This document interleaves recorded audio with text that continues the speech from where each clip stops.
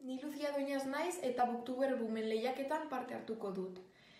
Hemen daukadan liburuari buruz hitz egingo dizuet. Ostegunak e, izenekoa, Jon Arretxek idatzitakoa mila bederatzireun eta laurogeita mazazpi urtean.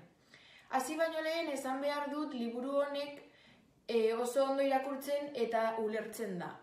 Gainera, kontatzen du zer gertatzen zaie e, gure adineko ikasleei e, bere egunez egun bizitzan. Eta askotan identifikatuta sentitu ahal dugu. Liburuak bos historiarekin osatuta dago eun horrialdeetan. Historio batzuek besteak baino luzeagoak dira, baina ez daukate ezer komunean, ez da pertsonaiak, ez da gertaerak ere, bakarrik ostegunean gertatzen direla. Niri gehien gustatu zaidan historioa laugarrena da, unibertsitateko harakinak deitzen dena. Mutil batek geratzen da gau osoak txuretak prestatzen urrengo egunean azterketa zeukalako, baina azkenean mutilak ez dago sartzen txuletak ateratzen. Baina momentu hartan zerbait oso interesgarria eta barregarria gertatzen da irakaslearekin.